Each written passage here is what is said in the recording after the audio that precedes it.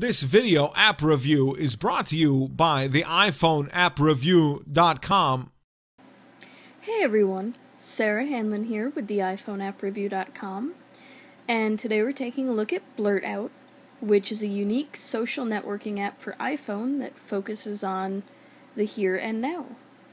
It's available to download from the App Store for free. what I'm going to do is I'm going to show you how it works. So, just to kind of walk you around the app, when you initially set it up, you're supposed to sign in with either a social network or um, a separate BlurtOut account. Once you're set up, the app will ask you for your location, and just for privacy purposes, I'm showing uh, the New York City area. Um, once you're you've granted the app access uh, to your location, you can see other blurts in the area.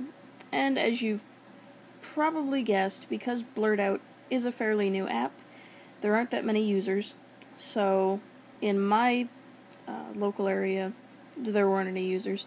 And it doesn't look like you can travel in the map to other areas uh, to read blurts, which is good and bad, but probably more good than bad. But uh, basically, how the app is supposed to function is in your local area, it will show everybody's blurts. And if you want, you can follow people too, and just like your blurt, they'll kind of self destruct after a set amount of time. So it's kind of a friendly way to be friendly to a point, if that makes sense. You're not making lasting friends or anything in BlurtOut. It's just kind of like people who are in your local area can communicate, and after that, you know, you don't really have to worry about them. So you can see here, BlurtOut has a chat feature, and unfortunately, there's nobody to really chat with, um, in my area at least, but this is where you could see all of your chats. People tab, same thing, no people in my area, unfortunately, but this would list all of the people that you've interacted with in your area. As far as the Me tab, this is where uh, it would show all of your personal blurts, and it would show stats like, uh, yeah, if you've received any toasts. Basically, a toast is kind of like a Facebook like, just kind of like a cheers type of thing. And lastly, in the settings page, this is where you can view the nuts and bolts of BlurtOut. You can also set your search distance, so this is basically the radius of um, the area around you where you'll receive blurt uh, BlurtOut updates.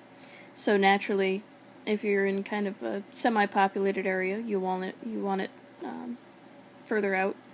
But if you're in a very dense city area, probably a little bit closer to you.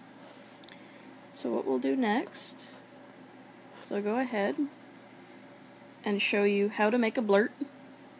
And all you have to do is tap that speech bubble in the top right corner. And this is where you can write your blurt out. You can attach a photo. This is where you would type it. So you could say, like, test. Um, that's where your text goes. Down here, you can set your visibility. Private's good for if it's just, you know, you want to see it. Really good way to keep track of maybe a local spot you're interested in or, you know, personal notes. And you can also set it public for, like I said, from an hour up to a day. So your message will self destruct eventually. Go back. And optionally, all of these are pretty much disabled by default. You can optionally share your blurt to Facebook, Twitter, Google+, Foursquare, Untappd, and Tumblr, but that is not mandatory at all. Like I said, BlurtOut is meant to be a here and now type of social networking app. It's not meant to keep your updates or photos or whatever stored until the end of time. It's just temporary stuff, but it's nice to know that you do have the option. As far as overall thoughts on Blurt, I think it's really cool. Uh, it's a great concept. I love the idea that it focuses on the here and now. it is a little bit tricky as far as not being able to find anybody to chat with, especially if there are no other users. So it's definitely in the early stages, but if you're in a very populated city like New York City or other major uh, metro areas, there's a chance that there are other BlurtOut users. And it's definitely a social networking app that can be used really how you want to use it. So I recommend it if you're looking for something new. Again, BlurtOut is available to download from the App Store for free, and it's designed for iPhone. This has been Sarah Hanlon with the iPhoneAppReview.com taking a look at BlurtOut. Till next time.